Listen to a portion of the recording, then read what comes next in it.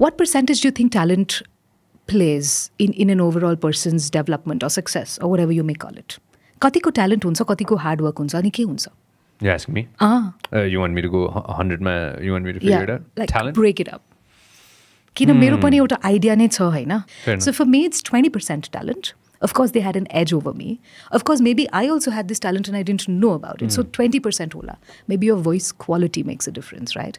Maybe just the fact that you've been privy to these conversations. You hear these wonderful things and you yeah. sort of shape the way you think on the basis of that.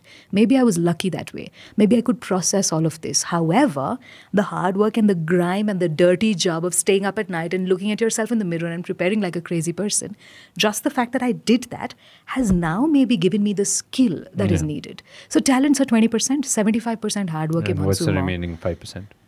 Being at the right place at the right time.